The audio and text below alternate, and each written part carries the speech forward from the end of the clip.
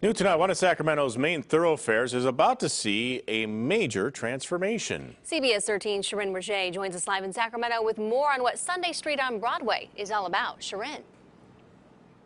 Sam and Adrian, this is Sacramento's first open street event, and they're already prepping locals with signs here telling them that yes, on Sunday, traffic on Broadway will be closed. And this is all part of a global movement to get more people engaged, make, it, make them active, and to give a boost to the Broadway district.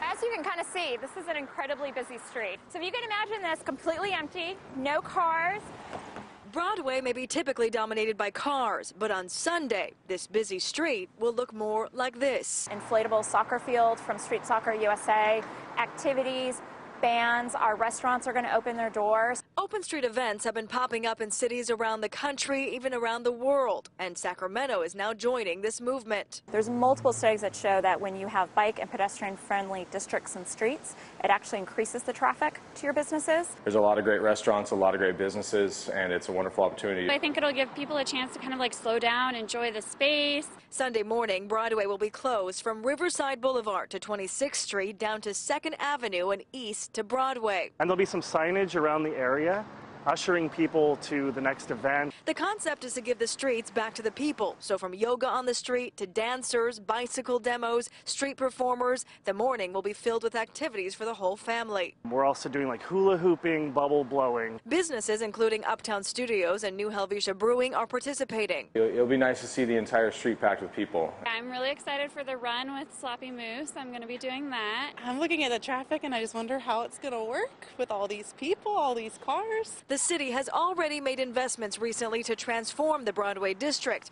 and now organizers hope Sunday Street on Broadway will have an impact. For people to come here and experience Broadway and and see what is here now and what could be here in the future will be really cool and a, and a really great opportunity for the city.